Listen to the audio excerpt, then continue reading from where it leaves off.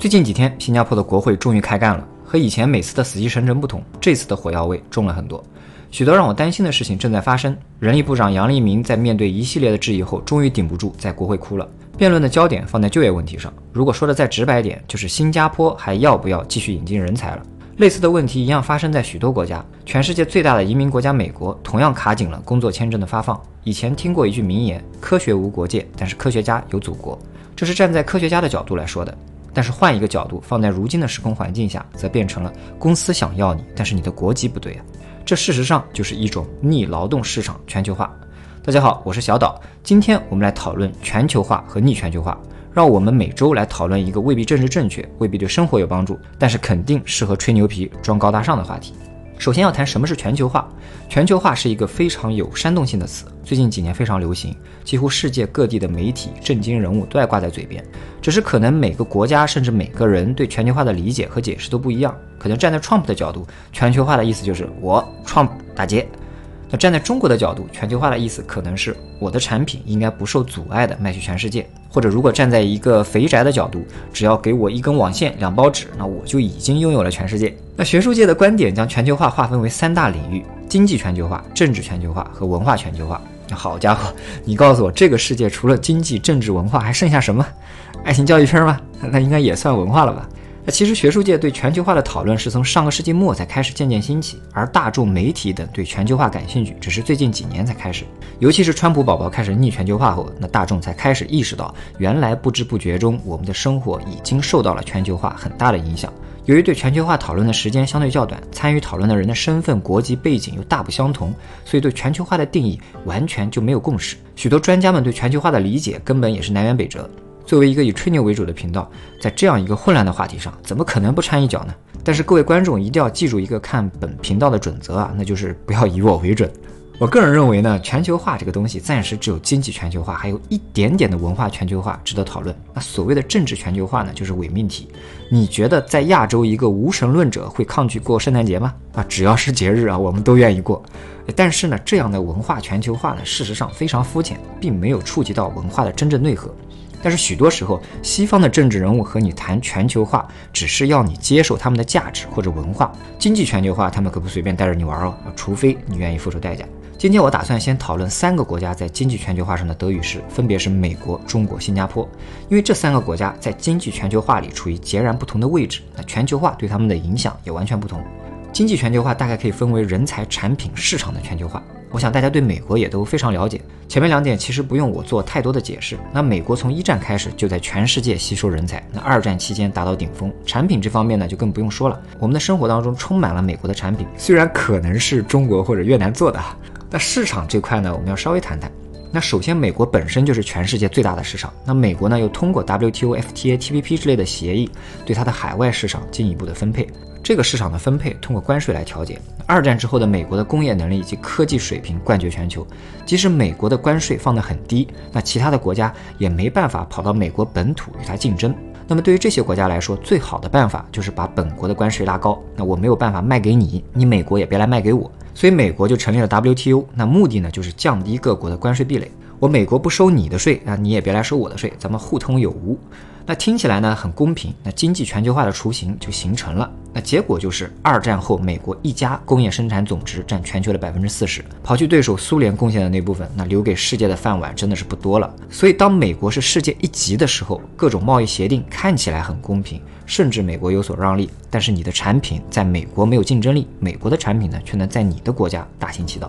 美国还拥有一个全世界其他任何国家都不具备的优势，那就是美元国际化。在 Trump 上台之前，美国一直都是有意去维持低关税的。这主要是因为全世界的国与国之间的贸易基本是使用美元结算的。一旦贸易壁垒增加，贸易额减少，必然就影响美国印钱抢劫。啊，其实也不算抢劫吧，抢劫哪有印钱来钱快啊？怎么个抢法呢？经济学家基本都认为，每年通货膨胀个百分之三到五是良性的。美国把钱印好花出去之后，通货膨胀才真正开始。所以这部分后来通货膨胀少掉的钱就是白赚，相当于美国每印一百亿，全世界的人民呢就要交个三到五亿的税。当然呢，这还是最斯文的玩法。那印钱的成本才多少呢？更浪的办法，你猜啊？咱没有证据，我也不敢说，怕美联储告我。那所以美国政府自己算一算啊，有时候甚至关税上稍微亏一些，那靠着铸币税一样大赚。这就让美国保持了长期的进口低关税，变相的推动了全球化。铸币税呢，主要是美国政府赚。美国商人一看，哎，政府既然有意长期保持低关税，那咱们呢也得赚一笔。最简单的办法就是降低成本，反正没什么关税嘛。那我们把工厂移到便宜的地方，那这个地方既需要有大量的廉价劳动力，又需要这些劳动力呢有比较高的技能水准。更重要的一点，当地呢必须有一个非常稳定并且在政策上愿意配合的政府。那没错，就是中国嘛。从中国改革开放开始，以美国为首的大量外资就开始涌入中国。对于这些外资来说，他们真的是赚得盆满钵满啊！不谈大幅降低的成本为他们多赚了多少钱，单单是房地产升值的钱就够好几年利润了吧？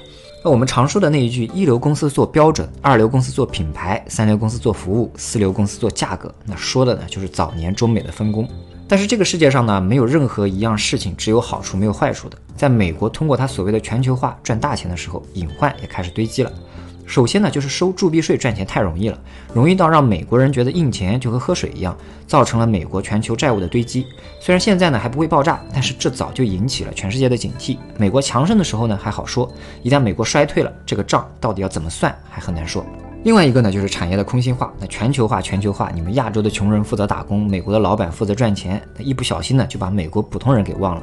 我在前面的一期节目里讲到大政府与小政府的区别啊，其中就讲到新加坡政府愿意牺牲短期的利益，保证制造业在 GDP 里的占比，以此维持高就业率，保持社会的稳定。那美国的商人就管不了这些事儿了，那普通人没钱，政府印钱发福利呗，关我鸟事。最后呢，终于造就了 Trump 上台。正常人会觉得强大的美利坚合众国居然会选出这种货色，非常不可思议啊！但是其实有它的理所当然。到目前为止呢，我觉得情况呢没有发生根本性的改变。所以今天小岛提前预祝蜂王连任，那欢迎十一月后大家回来挖坟啊！题外话，许多人知道 Trump 小名叫建国，我一定程度上同意。Trump 的身家哪怕放到新加坡来说呢，都只能算是中等商人。所以在战术上他或许很强，但是在战略上真的不行。那他的许多作为呢，都是在放弃全球化。如果说打压中国，强迫中国企业赶紧自立呢，还勉强说得过去。那么在中东的许多有可能影响石油美元的作为，甚至抢劫自己盟友的举动，那真的就是杀鸡取卵了。要知道，全球化是美国强盛的根本，直到今天，全球化依然在为美国带来利益，只是普通民众无法受惠而已。接着再说中国啊，依然是人才、产品、市场三个方向。中国和美国就很不一样了。美国相对于除了中国之外的所有国家，实力对比基本一直处于绝对优势。啊，而中国的情况呢，则一直处于快速变化中。那为了简单呢，就拿九十年代初的中国和如今的中国两个时间点来讨论。九十年代初，中国总算是确定了要好好搞市场经济了。那这个时候，中国基本没有自己拿得出手的产品，那经济也非常薄弱，整个国家的市场可能还不如一个中等发达国家。所以，中国要想发展，靠自己的内需完全不够；想靠自己的产品赚外汇呢，也几乎没有可能。那唯一的办法就是获得外国的技术和资金。那别人凭什么出钱又出技术呢？这里就要说到中国的一个非常。大的优势人才，那可能有人要反驳我，觉得上个世纪的中国非常落后，哪里有什么人才？其实不然啊，不是只有能造火箭芯片的才是人才，对于老板或者国家来说，适合工作的就是人才。中国在一九八六年开始实施九年制义务教育，也就是说九十年代初，中国就已经拥有了大量的有一定文化的劳动力，每年市场的新增劳动力呢，甚至超过了许多国家的总人口。千万别觉得这有什么大不了的。即使现在正在大量吸引海外投资的越南，在人才这方面依然无法超越九十年代的中国。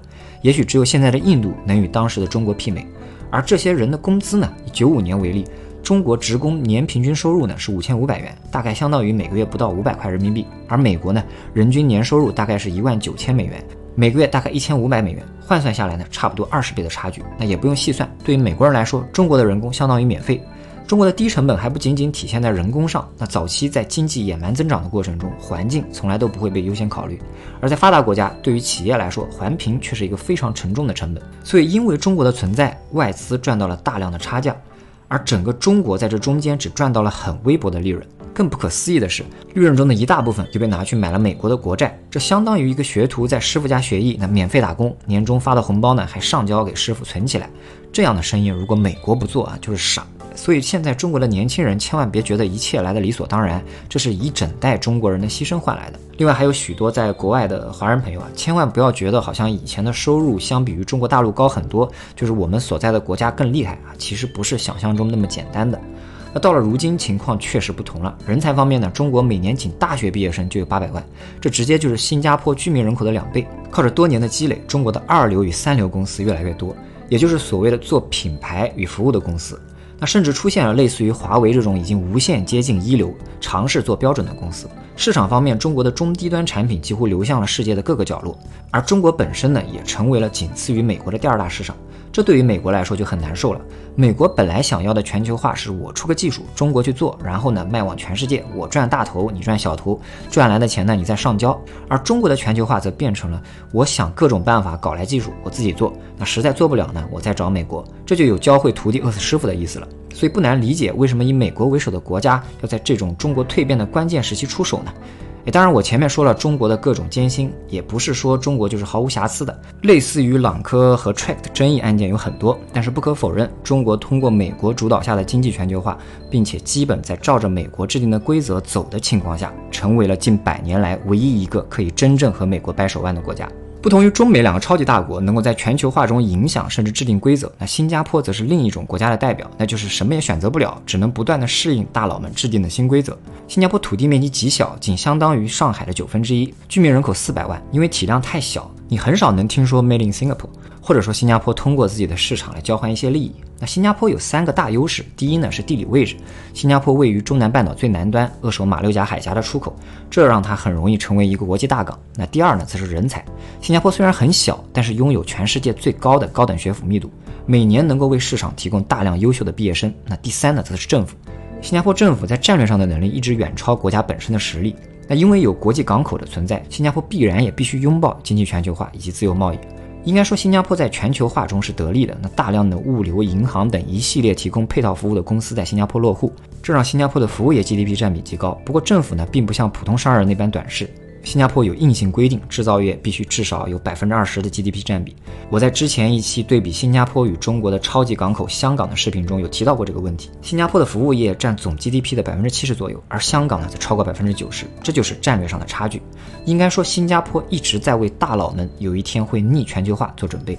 新加坡当然无法达到类似中国的全产业链，它要做的是在高端制造业占有一席之地。类似半导体芯片、生物制药，甚至航天工程之类的高端制造业，新加坡都有参与。虽然我们很难看到 “Made in Singapore” 这样的字眼，但是呢，实际上许多高端产品里都有新加坡的贡献。那比如许多人也许不知道，最近宣布也要加入断供华为行列的美光，有一大部分的产品实际上是在新加坡生产的。新加坡很好的代表了一部分虽然实力不强，但是在经济全球化过程中想尽办法为自己在产业链中占住一点牢靠位置的国家。但是最近由于中美贸易战、疫情等一系列的原因啊，有兴趣的朋友可以看我前面分析大选的视频啊，那里面有更细致的分析。那新加坡现在呢已经开始逆人才全球化，这是一个非常无奈的选择。我的个人的看法是呢，这有可能形成一个恶性循环。要想在全球产业链中占据那部分利润很高的生意呢，就需要大量的人才。虽然新加坡本身的人才造血能力很强，但是跟中美日这些国家相比还差得太远。限制人才流入新加坡无疑是自废武功。那与其在新加坡使用二流人才做二流产业，为什么不去中国或者美国直接做呢？资本自己长着脚，可不会跟着人民的呐喊走。最后说一说我对全球化的看法。虽然川宝现在极力的做着逆全球化的事情，但是我觉得他挡不住太久。咱们也不用说的太煽情或者多高尚啊。美国本身就是一个由资本引导的国家，那想靠行政命令永远的阻止资本的快速自我繁殖是不现实的。即使美国资本明知道不阻止中国，美国必然会被超越，但是我死后哪管他洪水滔天啊？全球化是被美国开启的，但绝对不可能被美国关闭。那全球化绝对不是一个褒义词啊，它为消费者提供了更廉价的商品，为一些国家增加了就业，但是它也导致了规模经济的盛行，国与国之间的竞争越来越激烈，文化的多样性也逐渐减少，可以预见未来有许多国家将会破产，不得不依附于头部的几个大国，而产品的差异性呢也会越来越少。那一旦一个划时代的产品出现，将会在非常短的时间内占领全球，伴随而来的呢是旧产品公司迅速的消失。以前我们需要几十年甚至几百年才能看到的产品与技术的迭代，在如今的全球化中，也许一年就能看到几次，是不是又期待又有点心慌呢？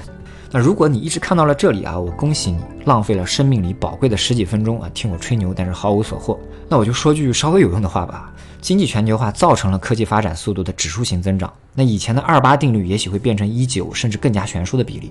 从前会个 Excel 呢，可以做几十年的白领。那现在会个 Excel 呢，可能只是面试门卫时的一个加分项。